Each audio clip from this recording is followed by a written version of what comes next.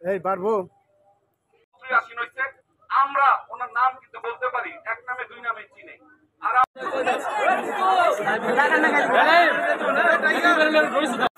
আমরা যে খাবারের আয়োজন করি আজকে আমার রিক্সাওয়ালায় কৃষক বলে সবার মুখে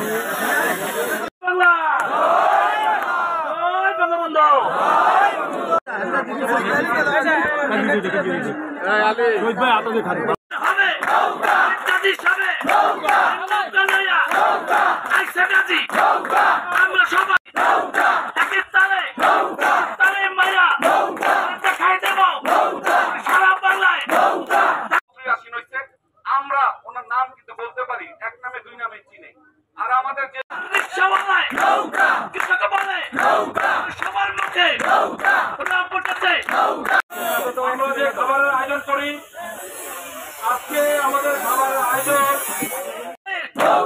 সাত তারিখে প্রমাণ হবে গাছ হিসাবে ফুলের মালা গলা কাছে সবাই বলে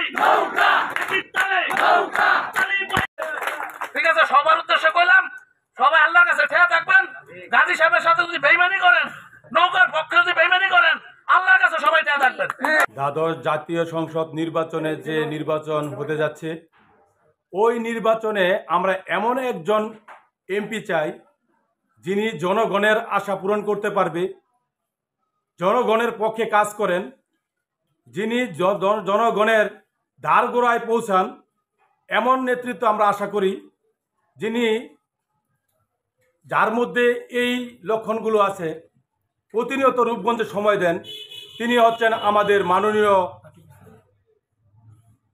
বীর মুক্তিযোদ্ধা খেতাবপ্রাপ্ত গোলাম দস্তগীর গাজী। উনি আসার পর আমাদের রূপগঞ্জে যে উন্নয়ন হয়েছে, এই উন্নয়নের ধারা অব্যাহত রাখতে গেলে গাজীর বিকল্প রূপগঞ্জে কেউ নাই। এটা আমার কথা না, এটা সমগ্র রূপগঞ্জবাসীর কথা।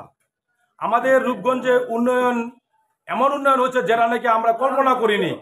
এই পনেরো বছরে আমাদের উন্নয়নের কিছু কথা বলি। আমরা রূপগঞ্জ থেকে, বিশেষ করে আমরা বক্তবাড়ি পিতলগঞ্জ পাঁচ নং ওয়ার্ড থেকে ঢাকা যাইতে হলে আমাদের দুই আড়াই ঘণ্টা সময় লাগতো ঢাকা পৌঁছাইতে। যেই সময়টা ছোট পরিসরে নিয়ে এসে বাংলাদেশ সরকার, আওয়ামী লীগ, মাননীয় প্রধানমন্ত্রীর নেতৃত্বে গোলাম দস্তগীর গাজী আমাদের রূপগঞ্জের রূপ চেঞ্জ করে ফেলেছে। ঢাকা যেতে আমাদের যেই সময় লাগতো দুই আড়াই ঘণ্টা, সেইটা মানে তিনশো ফুট হওয়ার কারণে আমরা এখন দশ মিনিটে কুড়িল বিশ্ব রোড চলে যেতে পারি। এরপরে আমাদের রূপগঞ্জ হয়ে যে গাজী সেতু হলো, এর কারণে আমাদের বুলতা গাউসিয়ার সাথে যোগাযোগ ব্যবস্থা এত সুন্দর হয়েছে।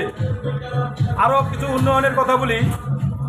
কাঞ্চন ব্রিজ হতে রূপগঞ্জ পর্যন্ত যেই সুন্দর রাস্তা করতেছেন, আমরা কোনোদিন কল্পনা করিনি আমাদের রূপগঞ্জে এত সুন্দর রাস্তা গোলাম দস্তগীর গাজী সাহেব উপহার দিবেন। আমরা নৌকাকে বুঝি।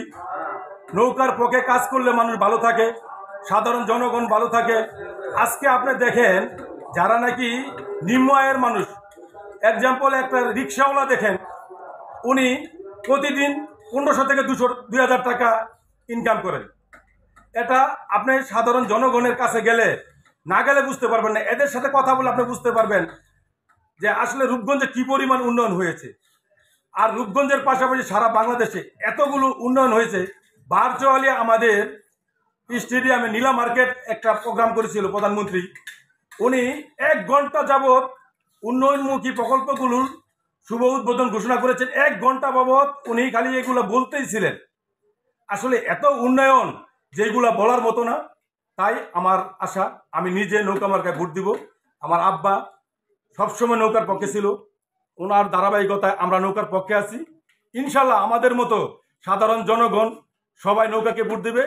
আমরাও চাই সামনের সাত তারিখে বিপুল ভোটে নৌকা প্রতীকে ভোট দিয়ে গোলাম দস্তগীর গাজীকে আমরা আবার ফুলের মালা পরাইয়ে রূপগঞ্জে বিজয় করব।